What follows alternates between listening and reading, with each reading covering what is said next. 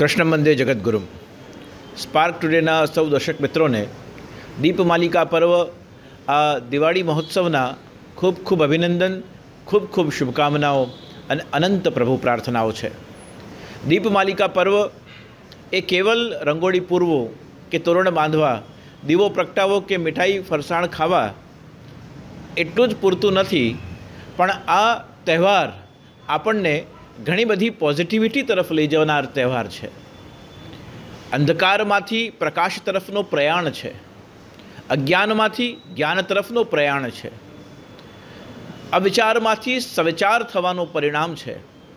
અલગ અલગ પ્રકારથી સંસારમાં ઘટિત થતી ઘટનાઓ તરફ આપણી પોઝિટિવિટી આપણું હકારાત્મક દૃષ્ટિકોણ કઈ રીતે આપણા પોતાના માટે, પરિવાર માટે, સમાજ માટે, શહેર, રાજ્ય દેશ, રાષ્ટ્ર અને વિશ્વ માટે કેવી રીતે ફલદ્રુપ થઈ શકે છે?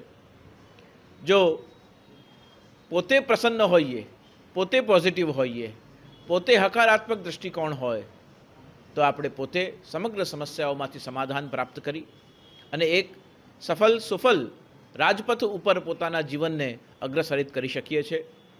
એવો જ્યારે તહેવાર આપણી વચ્ચે છે ત્યારે આપ સૌ માટે મારી ખૂબ ખૂબ પ્રભુ પ્રાર્થનાઓ. સર્વે ભવંતુ સુખિનઃ, સર્વે સંતુ નિરામય. આપ સૌ કુશલ રહો, આપ સૌ પ્રસન્ન રહો અને આપ સર્વની સકલ અનિષ્ટ દૂર થાય એવી પ્રભુ પ્રાર્થનાઓ સાથે ખૂબ ખૂબ શુભેચ્છાઓ. શુભમ ભવતુ. કલ્યાણમસ્તુ.